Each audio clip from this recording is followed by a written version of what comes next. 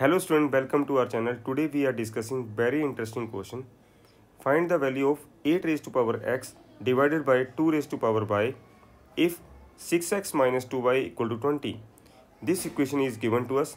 Now we will discuss its solution. We have to find the value of 8 raised to power x divided by 2 raised to power y. We can write 8 as 2 multiplied by 2 multiplied by 2 raised to power x divided by 2 raised to power y. We can write 2 as a 2 raised to power 3 whole power x divided by 2 raised to power y.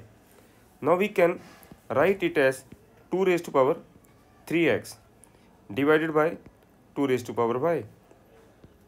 Now from here we apply identity that we know a raised to power m divided by an we can write it as a raised to power m minus n.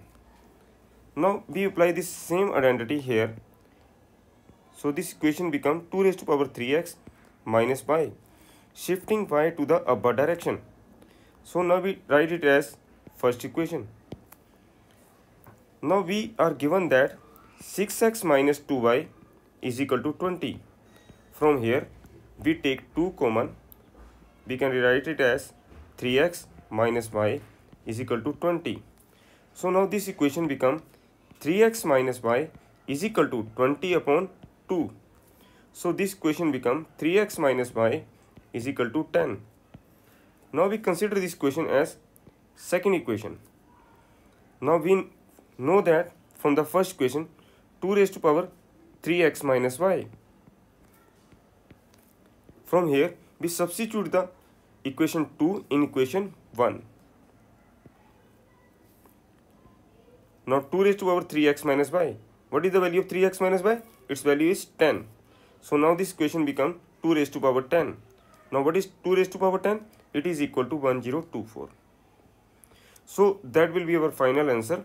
So the value of 8 raised to power x upon 2 raised to power y become equal to 1024.